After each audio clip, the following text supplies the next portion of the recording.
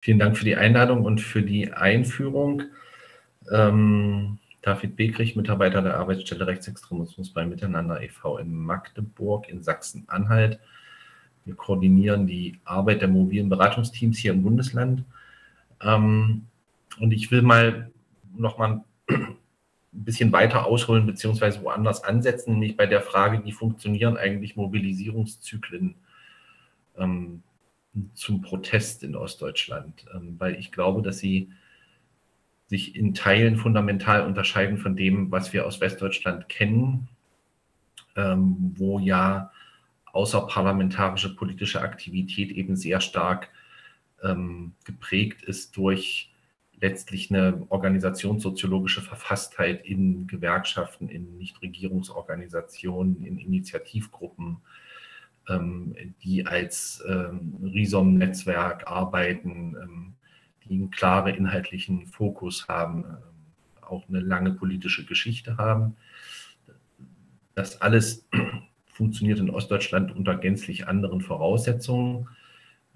Ich glaube, es ist gut und hilfreich, sich vor Augen zu führen, dass das zentral, das zeitgeschichtliche Zentralmotiv ostdeutschen Protests die Imagination oder die reale Erfahrung der Demonstration 1989 im Herbst gewesen ist. Das ist das zentrale Motiv, auf das sich alle Proteste, alle Protestformate in Ostdeutschland seit der Wiedervereinigung, also seit 30 Jahren, in der einen oder anderen Art und Weise beziehen. Und zwar unabhängig davon, ob es sich eher um linksemanzipatorische ähm, Protestformate handelt oder um ähm, regressiv reaktionäre Protestformate handelt. Das hat einfach was mit der zeitgeschichtlichen Erfahrung zu tun ähm, und sollte man sozusagen im Hinterkopf behalten für die Frage, äh, warum muss es denn immer der Montag sein, beispielsweise, oder warum wird immer zu dieser bestimmten, ganz bestimmten Protestform äh, gegriffen, beziehungsweise welche Erwartungen sind daran auch geknüpft und das ist der zweite Unterschied zu Westdeutschland. Es gibt eine, ähm, zumindest auf der Ebene der Protestmobilisierung bzw. Initialisierungsphase von Protesten eine sehr starke Erwartung, Erwartungshaltung oder Horizonterwartung zu sagen, ähm, man könne politische Forderungen ähm, oder eine politische Agenda am ehesten durchsetzen, wenn man massenhaft auf die Straße geht. Ne? So. Ähm, da kann man jetzt lange darüber sprechen, dass da diesbezüglich ein Missverständnis hinsichtlich der politischen Kultur der Bundesrepublik Deutschland vorliegt, aber es ist nun mal so. Also die Erwartungshaltung ist zu sagen, wir gehen hier unten so lange auf die Straße, bis die da oben machen, was wir wollen. Äh, und das zieht sich sozusagen, egal ob das die Hartz-IV-Proteste 2004 oder davor die äh, Proteste gegen die Betriebsschließungen durch die Treuhand, also das ist sozusagen das tragende Muster. Ähm, der zweite Punkt ist die Frage der Mobilisierungszyklen von Protesten in Ostdeutschland seit 2014. Ähm, und diese Jahreszahl habe ich nicht willkürlich gewählt, sondern deshalb gewählt, weil das der Zeitpunkt ist, zu dem wir A am Vorabend der rassistischen Mobilisierung im Kontext der Flüchtlingskrise waren und B wir damals eine Situation hatten, dass mit dem sogenannten Friedenswinter im Protestformat auftrat, ähm, das schon einmal bestimmte Ideologieelemente dessen thematisiert hat, was wir auch jetzt immer wieder finden, nämlich den einerseits den Russland-Ukraine-Konflikt und auf der anderen Seite ähm, die Bereitschaft eines damals noch sehr diffus auftretenden ähm, politischen Milieus oder politischen Spektrums ähm, zu einer Identifikation oder Teilidentifikation mit der Politik Putins bzw. Russlands zu treten und dafür zeitgeschichtliche Anleihen zu nehmen. Ähm, es hat damals nicht nur in Berlin, sondern auch in vielen ostdeutschen Städten die Kundgebung zu diesem Friedenswinter gegeben.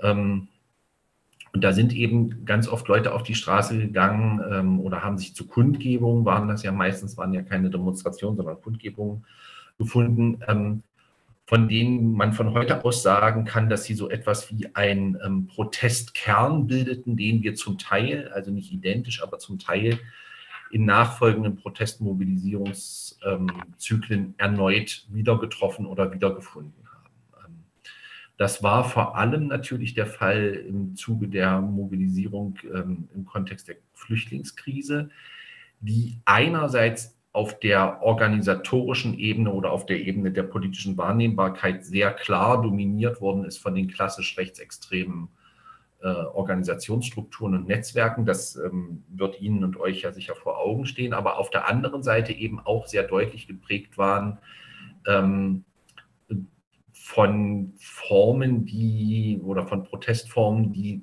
nach neuen Ausdrucksformen der Protestbeglaubigung gesucht haben, äh, indem sie sich ähm, äh, indem sie sich neue Namen gegeben haben, Bürgerinitiative oder ähm, Bürgergruppe oder ähnliches, also sozusagen wegzugehen von ein eindeutigen politischen Bezugnahmen hin zu äh, zumindest der rhetorischen Proklamation von Gemeinwohlinteresse und übergreifendem Interesse. Das ist deshalb wichtig, weil es einen zweiten Effekt in der Protestkultur oder Protestgeschichte Ostdeutschlands gibt.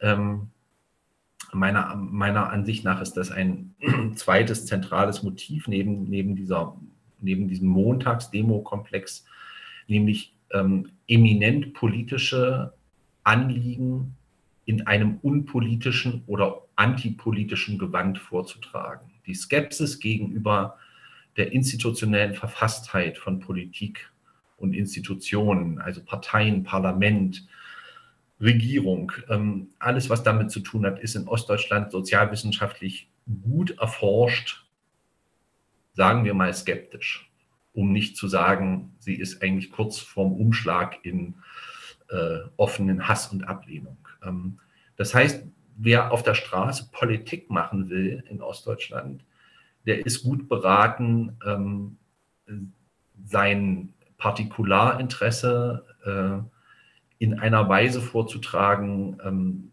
dass es sozusagen einen antipolitischen Charakter hat. Ähm, das hat die AfD in ihrer Aufstiegsphase in Ostdeutschland sehr erfolgreich. Äh, äh, äh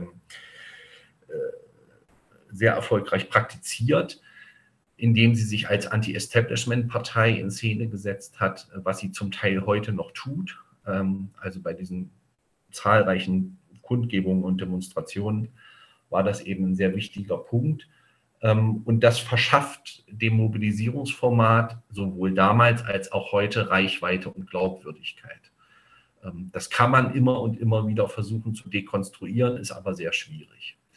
Und das schlägt sich eben unter anderem in der Tatsache nieder, äh, dass vor Ort in den kleinen und Mittelstädten die Proteste ganz oft von Leuten aus dem politischen Vorfeld der AfD organisiert werden. Die AfD als solche allerdings dort nicht auftritt, also nicht sichtbar auftritt.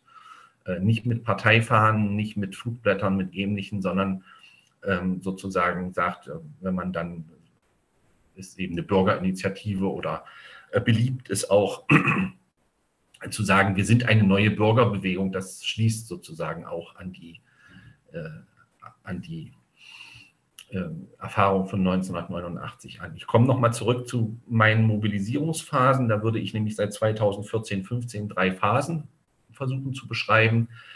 Äh, die erste Phase, das ist sicher diese Mobilisierung ähm, vom Friedenswinter, die dann übergegangen ist, nicht identisch übergegangen, aber vom, ähm, äh, von der von der Verfasstheit übergegangen ist ähm, in eine breite rassistische Mobilisierung, die ihren Schwerpunkt äh, damals in äh, Sachsen hatte.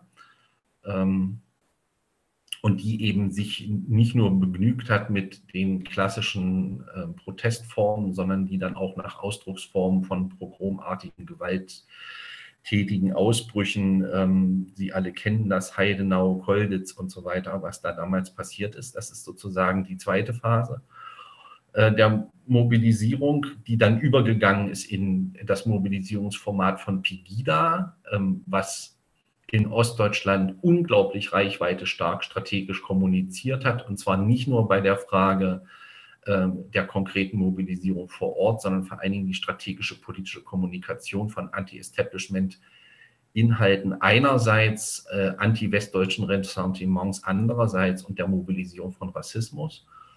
Und die dritte Mobilisierungsphase wäre jetzt aus meiner Sicht eben genau diese, über die wir jetzt sprechen, die an der Schnittstelle ähm, zwischen realen sozialen Abstiegsängsten, realen sozialen Widersprüchen, der zeitgeschichtlichen Erfahrung in der Auseinandersetzung mit dem Krieg zwischen, äh, äh, zwischen Russland und der Ukraine und den damit einhergehenden Folgen sich sozusagen vollzieht.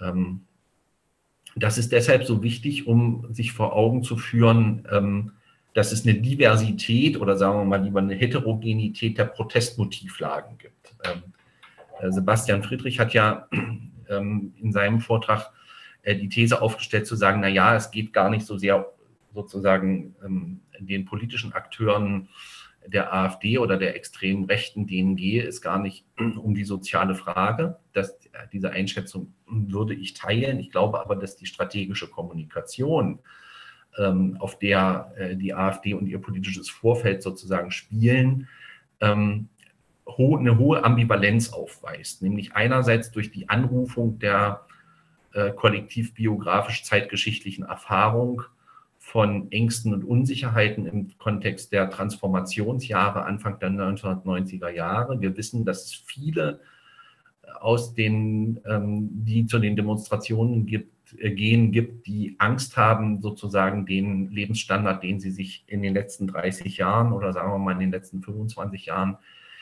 äh, erschlossen haben, dass sie den auf einen Schlag verlieren. Ähm, und gleichzeitig eben diese Bezugnahme auf ein zeitgeschichtlich anderes Verständnis der Frage äh, des Verhältnisses zu Russland. Ähm, und ich glaube, da spielen sozusagen unterschiedliche Aspekte eine Rolle. Ein Aspekt ähm, ist die Dominanz von westdeutschen historischen oder zeitgeschichtlichen Narrativen in Bezug auf die Frage, äh, wie ist die NATO zu verstehen, wie ist Russland zu verstehen, wie ist Putin zu verstehen und eben aber damit im Kontrast eine eigene zeitgeschichtliche Erfahrung äh, mit der Frage, wie funktioniert eigentlich die Geschichte von Energielieferungen aus Russland und wie weit ist die sozusagen abhängig von, ähm, von den politischen Gegebenheiten, ähm, die damit einhergehen. Verschaffen wir uns einen Überblick über das Protestgeschehen. Ähm, dann stellen wir relativ schnell fest, dass das Protestgeschehen auf dem Gebiet der ehemaligen Deutschen Demokratischen Republik, der heutigen fünf neuen Bundesländer, genau dem Muster folgt wie auch 1989. Und das ist sehr interessant und bedarf meiner Ansicht nach einer intensiven Diskussion. Ich will noch mal darauf hinweisen, dass die größten Demonstrationen, die wir in den letzten Wochen und Monaten ähm, im Themenkontext hatten, genau wie 1989 im Süden der DDR, nämlich in Plauen, begonnen haben und dort auch mit großer Heftigkeit vorgetragen worden sind. Und ähm, wir genau wie 1989 und in allen nachfolgenden Protestmo äh, äh, Protestmobilisierungsformaten das immer gleiche Muster sehen, nämlich dass wir ein Süd-Nord-Gefälle in der Protestmobilisierung sehen. Also je weiter südlich man auf dem Gebiet der ehemaligen DDR Richtung Sachsen kommt, desto stärker äh, ist die Zahl der sowohl der Orte, in denen Proteste stattfinden, als auch die Zahl der Teilnehmenden, äh, als auch die, ich sage jetzt mal, Radikalität der Forderungen oder die, das politische Bewusstsein. Und je weiter nördlich bzw. nordöstlich man kommt, ähm, desto schwächer ist das Protestformat und der Organisationsgrad der Protestakteure ausgeprägt. Und dieses Muster, ähm, das wäre meine These, ähm, dieses Muster ähm, wiederholt sich in gewisser, wiederholt sozusagen in gewisser Weise die Motivik von 1989. Das war damals ganz, äh, das war damals ganz genauso. Also die ersten, die die Wiedervereinigung gefordert haben, das war nicht in Dresden, sondern das war in Plauen.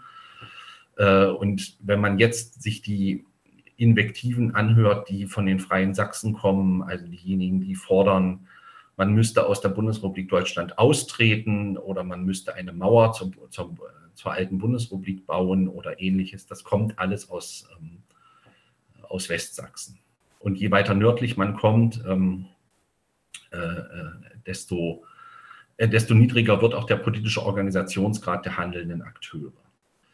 Ähm, bei der Frage der politischen Verortung der Proteste, ähm, glaube ich, muss man von einer Protestplattform oder von einem Protestnukleus bzw. Protestkernen ausgehen.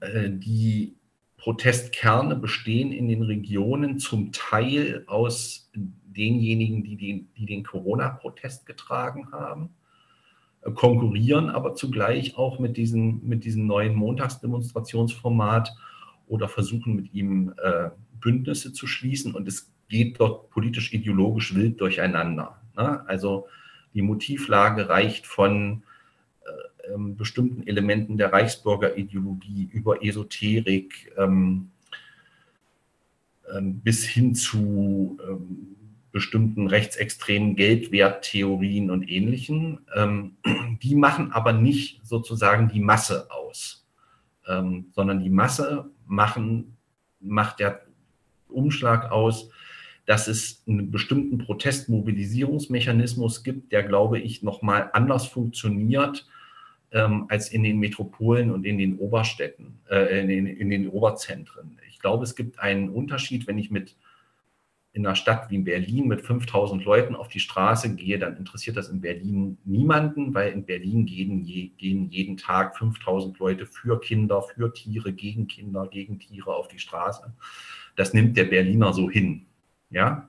Äh, Berlin ist auch groß genug, dass die Stadt sozusagen drei Demonstrationen a 5000 Leute aushält. Das ist sozusagen kein, kein Einzelereignis. Das sieht in einer Stadt, in der zwischen 15 und 90.000 Einwohner leben, also eine ostdeutsche Klein- und Mittelstadt, ganz anders aus. Äh, wenn dort zwischen 2.000 und 3.000 Leute, vielleicht auch nur 1.000 Leute, wöchentlich auf die Straße gehen, ähm, dann erzeugen sie damit nicht nur an dem Tag selber so etwas wie eine sozialräumliche Dominanz, ähm, sondern sie bestimmen damit oder darüber natürlich in gewisser Weise den, die Hegemonie des öffentlichen Diskurses in der in Rede stehenden Stadt oder in dem in Rede stehenden Sozialraum. Und ich glaube, dieser letztere äh, Faktor, den sollten wir nicht vernachlässigen beim Verständniszugang dessen, was wir dort sehen. Denn es geht ja immer um zwei Dinge. Es geht einerseits natürlich um das ganz konkrete Protestereignis und die Teilnahme an diesem, aber die ähm, videografische Wiedergabe dieses Protestereignisses und der Abgleich mit den Videos aus anderen Städten in der gleichen Größe ähm, imaginiert oder suggeriert natürlich sozusagen sowas wie Gesinnungsgemeinschaft, Wachstum, ähm, ein bestimmtes Bewegungsverständnis ähm, und ähnliches. Ja? Ähm, und das spielt für die Frage ähm, der politischen Selbstwirksamkeitserfahrung, die eben sich bislang jedenfalls beschränkt auf das Format des Auf die Straße gehens, spielt das eine sehr entscheidende Rolle. Ich will das versuchen an einem Beispiel zu sagen, nämlich an der Stadt Wittenberg, die im Osten Sachsen-Anhalts liegt, wo wir seit Sommer ähm, eine stabile ähm, Teilnehmerlage bei diesen wöchentlichen Demonstrationen haben. Das gerät immer so ein bisschen aus dem Blick, weil sowohl von Berlin als auch von anderen Städten ganz selten auf Wittenberg geguckt wird. Ähm, das ist aber nicht unwichtig, weil da zum Teil faktisch unter Ausschluss der Öffentlichkeit bereits im Sommer montagsabends bis zu 3000 Leute auf die Straße gegangen sind. Ähm, und das, außer dass die Mitteldeutsche Zeitung Wittenberg, also die Lokalausgabe darüber berichtet hat, niemand darüber berichtet hat. Und der Einzugsbereich von Wittenberg ähm, umfasst eben nicht nur den Osten Sachsen-Anhalts, sondern auch Teile von Sachsen und Brandenburg. Ja? Also äh, Jüterbock, Bad Düben etc. Das heißt also, Wittenberg ist da so etwas wie ein interdependentes Protest, hat sich zu einem Art interdependenten Protestzentrum entwickelt. Ähm, und so könnte man jetzt nochmal durch die einzelnen Klein- und Mittelstädte durchgehen und gucken, ähm, wo haben sich denn da äh, sozusagen Protestzentren entwickelt, in denen dann jeweils unterschiedliche Akteure äh, dieses Protestformat dominieren. Und da komme ich zu meinem nächsten Punkt, nämlich diesen sogenannten Handwerkern für den Frieden, ähm, einem gar nicht zu, als Zusammenschluss, sondern als Netzwerk äh, agierenden äh, Gruppe, die aus den Industrie- und Handelskammern, den Handwerksinnungen der Regionen in Ostdeutschland zunächst das gemacht haben, was in der DDR typisch war, nämlich man hat einen Beschwerdebrief an die Regierung geschrieben, also eine Eingabe. Ja, also ähm, an den Bundeskanzler, nicht an, irgend, nicht an irgendwen sonst, sondern an den Bundeskanzler mit der Erwartungshaltung, er, also der Bundeskanzler, möge dafür sorgen, dass bestimmte Missstände administrativ abgestellt werden. Ähm, dieses, diese Vorgehensweise war in der DDR typisch. Also karikiere das mal so ein bisschen, mein Wasserhahn tropft, es findet sich niemand, der den reparieren will und ich schreibe einen Brief, sehr geehrter Genosse Honecker, bitte lassen Sie dafür Sorge tragen, dass die Produktionsgenossenschaft Clara Zetkin, Ernst-Thälmann-Straße 25 ähm, in, und so weiter, 1800 Brandenburg an der Havel, nächste Woche kommt, um meinen Wasserhahn zu reparieren. Ähm, dann hat man gewartet und nach etwa drei Monaten stand dann tatsächlich der Vertreter der PGH vor der Tür und hat gesagt, wir haben hier einen Brief vom Staatsrat der DDR mit dem Auftrag, ihren Wasserhahn zu reparieren. Ne? Ähm, also sozusagen die Erwartungshaltung, ein guter König möge bitte gesellschaftliche Widersprüche lösen und befrieden. Dann haben die Handwerker die Erfahrung gemacht, dass A, der Bundeskanzler nicht antwortet und B, auch niemanden schickt, das Problem mit der Energie, mit dem Gas, mit dem Öl, mit den äh, hohen Kosten in irgendeiner Art und Weise zu beheben und haben dann zu einer Demonstration aufgerufen. Ähm, und ähm, diese Demonstration fand in Dessau statt und aus der, an der haben aus dem Stand mit einer viertägigen Mobilisierungszeit 1800 Leute teilgenommen. Und ich glaube, daran kann man so ein bisschen erkennen, ähm, wie so Mobilisierungsmechanismen sozusagen laufen, ähm, wenn, es so eine, wenn es so eine Situation gibt, in der die Leute den Eindruck haben, ähm, ihr, Partiz ihr politisches Partizipationsbegehren ähm, müsste, auf der, müsste, müsste jetzt auf der Straße artikuliert werden oder müsste auf der Straße sozusagen durchgesetzt werden. Ähm, in die Regionen oder durch die Regionen durchzugehen, werden wir ein sehr heterogenes Bild wiederfinden.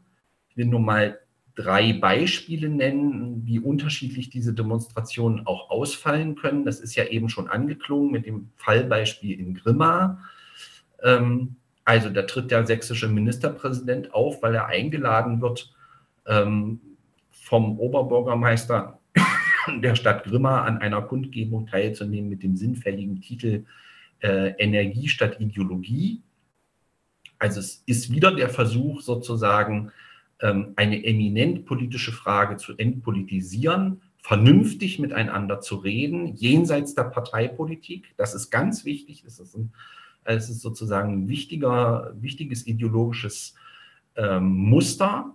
Ähm, und dann findet so etwas statt, was wir in Lubmin und in Annaberg-Buchholz auch gesehen haben, ähm, nämlich dass eine bestimmte Fraktion der extremen Rechten ähm, in der Situation auch in der Lage ist, faktisch eine regierungsamtliche Situation, äh, eine regierungsamtliche Veranstaltung in die Defensive zu zwingen. Obwohl vorher das Konzept eigentlich war, sozusagen den Rechten das Wasser abzugraben, indem sich der Bürgermeister oder der Ministerpräsident oder der Landrat an die Spitze der Proteste setzt. Ähm, und das heißt, wir haben es hier vorsichtig ausgedrückt mit einem politischen, politisch dynamischen Interaktionsverhältnis zwischen einerseits der extremen Rechten zu tun, die, deren Maß an Normalisierung in Ostdeutschland man sich, glaube ich, immer wieder deutlich vor Augen führen muss. Also die extreme Rechte in ihren verschiedenen Ausdrucksformen ähm, ist Teil etablierter, anerkannter Teil der politischen Kultur in Ostdeutschland und ist nicht tabuisiert, sondern weitestgehend enttabuisiert, ist also anwesend, läuft mit, ähm, hat verfügt in bestimmten Bereichen über Deutungsmacht. Und der Versuch sozusagen ähm, von äh, regierungsoffizieller Stelle, äh, denen sozusagen das, die Butter vom Brot zu nehmen, beantwortet die extreme Rechte, indem sie äh, ihre Repräsentanz und ihre Normalisierung offensiv verteidigt, was zu Situationen führt, wie wir sie in den letzten 30 Jahren immer wieder beobachten mussten, ähm, nämlich dass es zu einer direkten Interaktion zwischen einem Landrat und einem regionalen äh, Kaderfunktionär aus der extremen Rechten oder Sprecherfunktionär aus der extremen Rechten kommt und dadurch natürlich so etwas wie Aufwertung, äh, Resonanzraumerweiterung etc. stattfindet. Ähm, jetzt kann man, damit komme ich auch zum Schluss meines Inputs, jetzt kann man nochmal versuchen, sich diesen Mobilisierungsverlauf anzuschauen. Sebastian hat da ja auch schon eingeführt in das Phänomen, dass seit Ende Juli in einem Teil der Medien sozusagen diese Erwartungshaltung gespielt wurde, a, äh, das werden rechte Proteste und b, das, das wird so etwas wie ein Wutwinter werden. Ähm, und dann haben die Proteste mit so einem gewissen Zeitverzug begonnen. Ähm, ich würde sagen, wenn ich mir die Teilnehmerzahlen in Thüringen, Sachsen, Sachsen-Anhalt, auch in Teilen Brandenburgs ansehe, würde ich sagen, wir sind in was die Protestmobilisierung angeht, im Moment in einer Stagnationsphase. Also es gibt kein exponentielles Wachstum. Also es ist jetzt nicht so, dass heute 1000 Leute auf die Straße gehen und die Woche danach sind dann plötzlich 2000 da oder so. Äh, in einigen Orten geht die Teilnehmerzahl auch deutlich, mehr als deutlich zurück. Ähm, was ganz unterschiedliche Ursachen haben kann, die wir gerne noch mal diskutieren werden und meine äh, können und meine Prognose wäre zu sagen, äh, diese Plateauphase oder diese Stagnationsphase ähm, wird aber nicht dazu führen, dass dieses Protestformat verschwindet, sondern wir werden mit einem bestimmten zeitlichen Ablauf, äh, der sich vor allen Dingen in die Winterzeit hinein verlagert, sehen, dass es einen Wiederaufschwung oder einen Wiederaufstieg dieses dieses Protestformats geben wird, ähm, dass sich dann vielleicht auch noch mal heftigere Ausdrucksformen sucht, als wir das bisher oder als wir das im Moment sehen. Und die Rolle und Funktion der AfD äh, in diesem Zusammenhang wird eine ganz interessante sein, weil die AfD natürlich auf der einen Seite, Sebastian Friedrich hat das ja skizziert, in Ostdeutschland als systemüberwindende Bewegungspartei agiert und auf der anderen Seite eine nicht zu unterschätzende parlamentarische Akteur ist, der mit 20 Prozent plus X in allen Landtagen sitzt. Und dazwischen gibt es, na, formulieren wir es mal vorsichtig, sagen wir mal so etwas wie ein Spannungsverhältnis. meine Prognose wäre zu sagen, die AfD wird versuchen, dieses Spannungsverhältnis in den kommenden Monaten zugunsten der Straße auszunutzen. Also wir sehen das in den Regionen sehr deutlich, dass die Partei ähm, umsichtig, strategisch in der Frage agiert, wann tritt sie wo, mit welchen Forderungen sichtbar, unsichtbar auf ähm, und wie versucht sie anschließend im Parlament bestimmte Fragestellungen, bestimmte Aspekte zu thematisieren, um zu dem zu kommen, wovon sie eigentlich ausgeht, was ihre Aufgabe, Rolle und Funktion ist, nämlich eine so äh, eine soziale Bewegung von rechts aufzubauen, die in der Tat in der Lage ist, aus Sicht zumindest des faschistisch-radikalen Vorfelds der AfD die Systemfrage in Ostdeutschland zu äh, stellen. Und ich denke, wir sollten das nicht unterschätzen, weil nicht zum ersten Mal für die extreme Rechte Ostdeutschland so etwas wie das Experimentierfeld für die Frage ist, wie weit kann man denn mit so einer Wechselwirkungsstrategie ähm, der kontrollierten Eskalation eines gesellschaftspolitischen Konflikts gehen und wie weit kann man damit aber auch kommen. Und das heißt auch, dass die AfD das eben nicht in der Hand hat, weil es noch andere Akteursgruppen aus der extremen Rechten im weitesten Sinne gibt, ähm, die eben nicht im Parlament ein Standbein haben und die nicht darauf verwiesen sind, dass sie sozusagen dieses Spannungsverhältnis ausgleichen können, sondern die einfach auf der Straße super radikal auftreten können, auch zu Gewaltinszenierungen greifen können, ohne dass sie dafür sich in irgendeiner Art und Weise parlamentarisch rechtfertigen müssten.